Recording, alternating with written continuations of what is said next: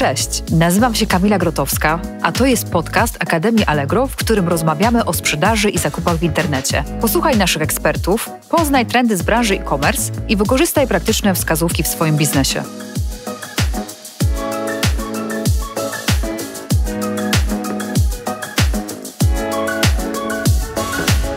Zapraszam na drugą część odcinka podcastu na temat rozpoczęcia sprzedaży internetowej. Naszym gościem jest Paweł Mielczarek. Jeżeli nie mieliście okazji wysłuchać pierwszej części, to zapraszam do nadrobienia zaległości, a my przejdziemy do tematu. Powiedz mi, Paweł, skąd czerpać wiedzę na temat e-commerce? Jak analizować rynek? Bo wydaje mi się, że taka znajomość trendów jest bardzo ważna. Czy ty masz jakieś narzędzia, sposoby na to, gdybyś mógł podzielić się swoimi wskazówkami? Najpierw odpowiem na to pierwsze pytanie dotyczące skąd czerpać informacje odnośnie e-commerce I, I, dzisiaj naprawdę jest ich multum po prostu w internecie. Trzeba oczywiście odróżnić tą taką wiedzę merytoryczną od trochę takiej wiedzy szarlatańskiej, że tak to nazwę, brzydko mówiąc, bo to też jest y, dosyć istotne. Więc YouTube, tak, więc różnego rodzaju blogi tematyczne, blogi firm, które sprzedają często, często też sprzedawcy sami się dzielą na swoich social mediach różnego rodzaju metodami, technikami. Inna tak naprawdę forma, która przychodzi mi do głowy i tutaj trochę zareklamuję Biblię Handlu, której są już trzy części. To też jest bardzo wartościowa pozycja, która no jest mega gruba, ale która zrzesza, nie wiem, ponad 70 autorów. Tam jest o wszystkim. Oczywiście jest o Allegro, sklepach internetowych, jest oczywiście o prawie w internecie, jest o różnego rodzaju podatkach, więc też fajne miejsce.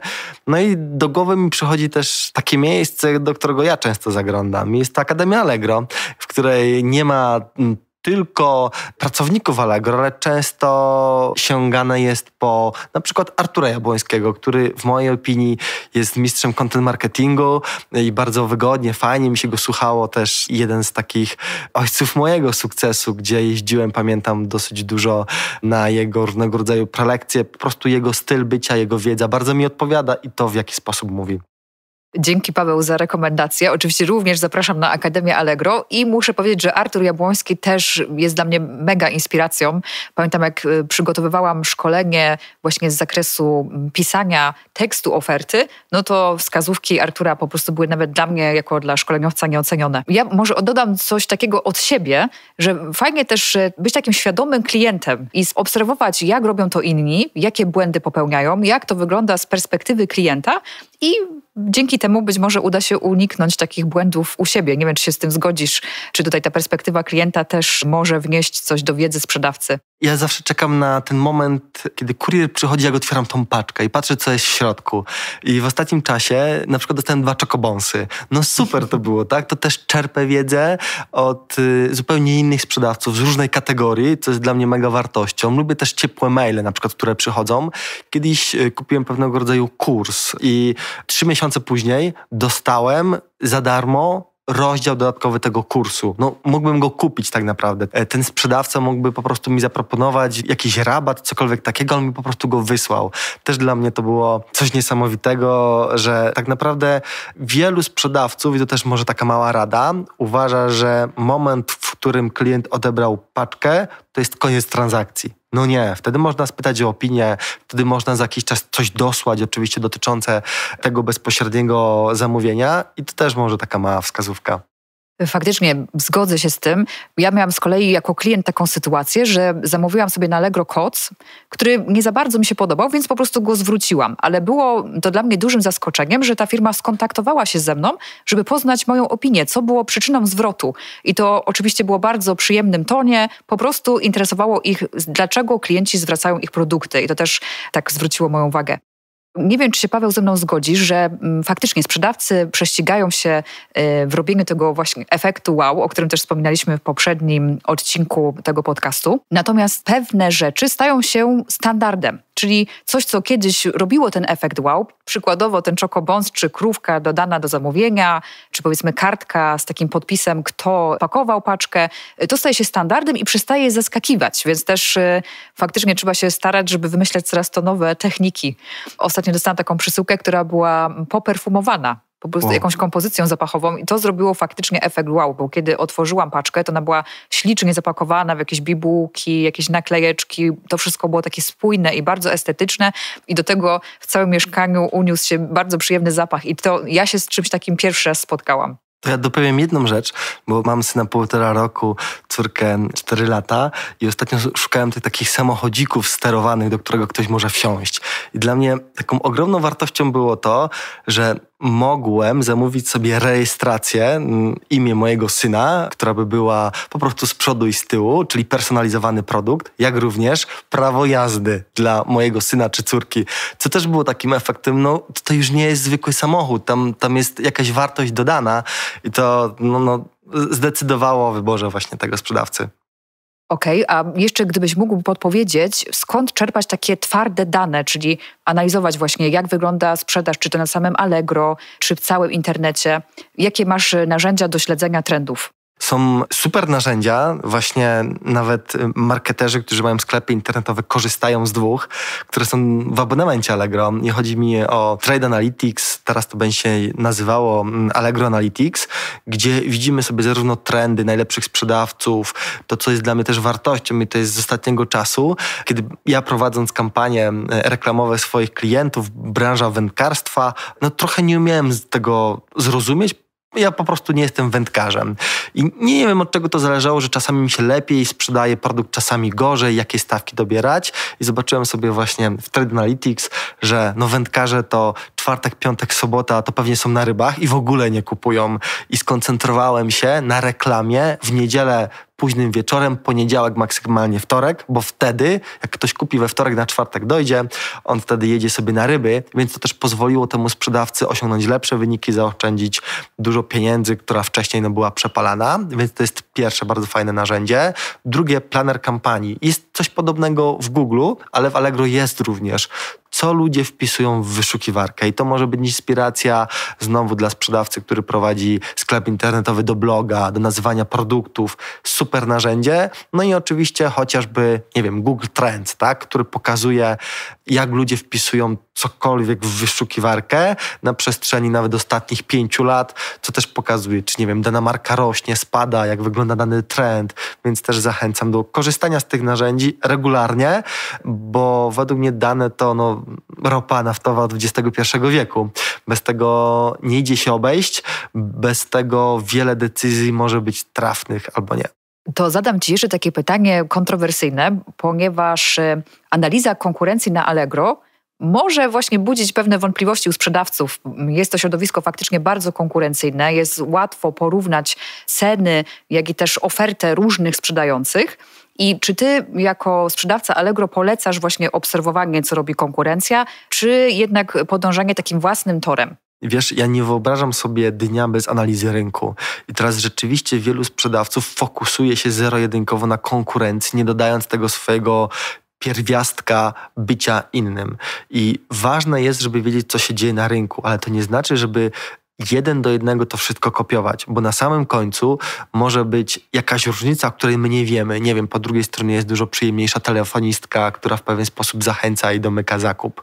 Może się okazać, że do paczek nasza konkurencja dodaje właśnie tego czokoponsa, co powoduje większą lojalność klientów, bo dla nich jest to ważne. Więc powinniśmy wiedzieć, z kim konkurujemy, ale nie patrzeć z klapką na oczy, że to jest jedyna i słuszna droga, bo komuś się udało i ja zrobię cenę grosz taniej i też będę miał taki zysk y, tylu klientów, co po prostu mój oponent. Wiem, że właśnie taka wojna cenowa to jest twój konik i to jest y, coś, do, zawsze zniechęcasz sprzedawców, żeby nie iść tą drogą. To powiedz mi, jak wobec tego być konkurencyjnym? Co jeszcze może przesądzić o takiej właśnie przewadze konkurencyjnej?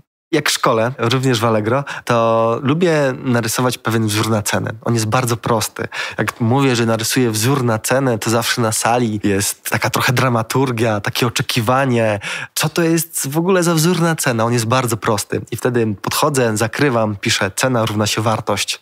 Co to znaczy? Że jeżeli ktoś nie chce u nas kupić po tej cenie, to znaczy, że po drugiej stronie nie widzi wartości, nie widzi, dlaczego ma wydać więcej, chociaż u konkurencji jest dużo, dużo taniej. No i są różne techniki, tak? Wydłużenie czasu godziny granicznej, na przykład do 18, kiedy można wysłać tą przesyłkę.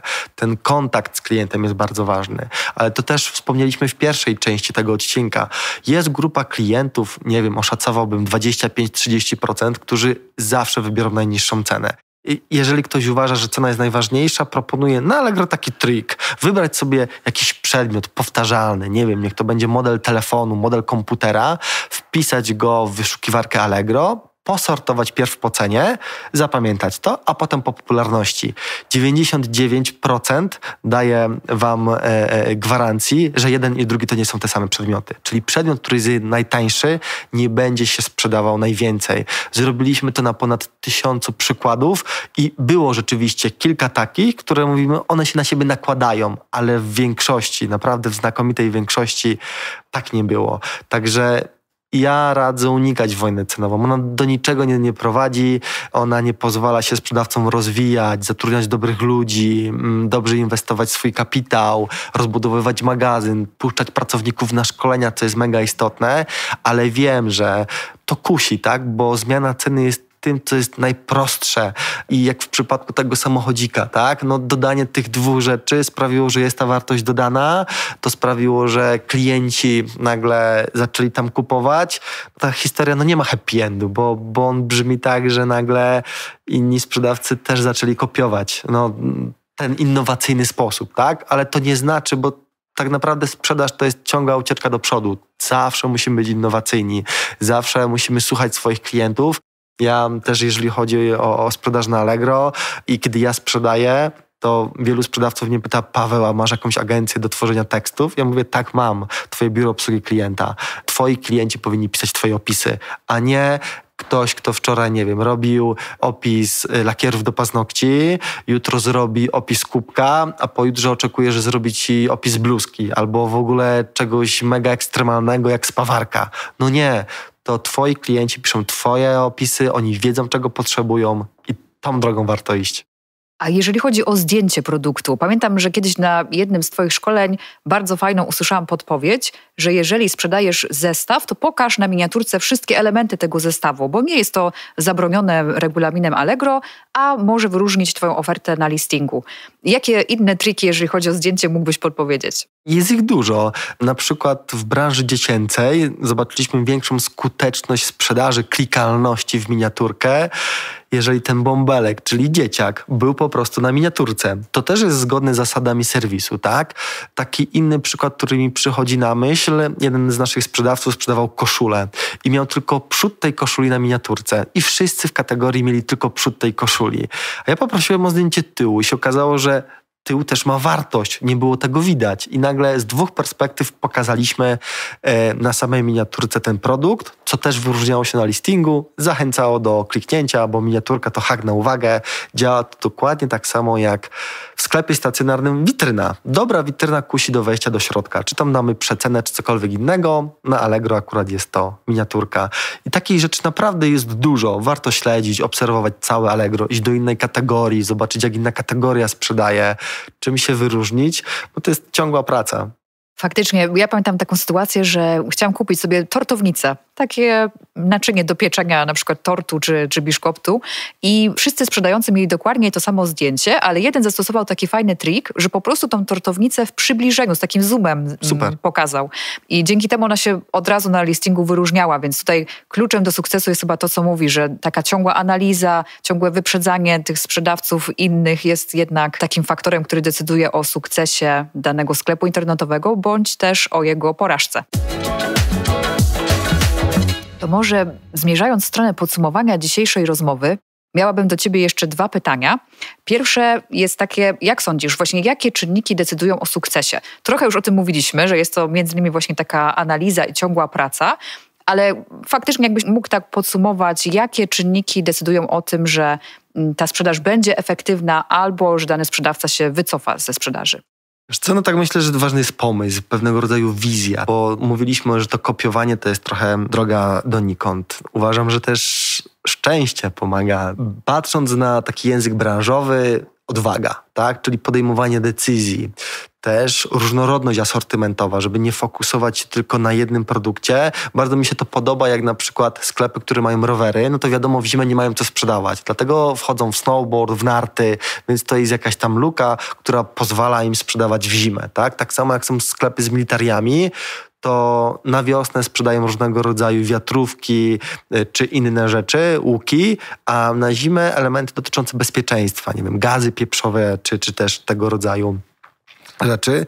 Uważam też i, i, to w mojej agencji, mam nadzieję, że moi pracownicy to potwierdzą, ale dbanie o swoich pracowników jest kluczowe, bo oni będą dbali o waszych klientów, więc też doceniajcie ich, szkolcie ich, inwestujcie w nich. Dobry pracownik naprawdę jest w stanie dać ogromną wartość dla przedsiębiorcy. No a dzisiaj, kiedy y, no jeszcze dwa lata temu rozpoczęła się pandemia, to nagle na rynku e-commerce'owym według mnie brakuje jakieś 100 tysięcy specjalistów, więc więc też trudno takiego e, specjalistę pozyskać, bo jest ogromna konkurencja.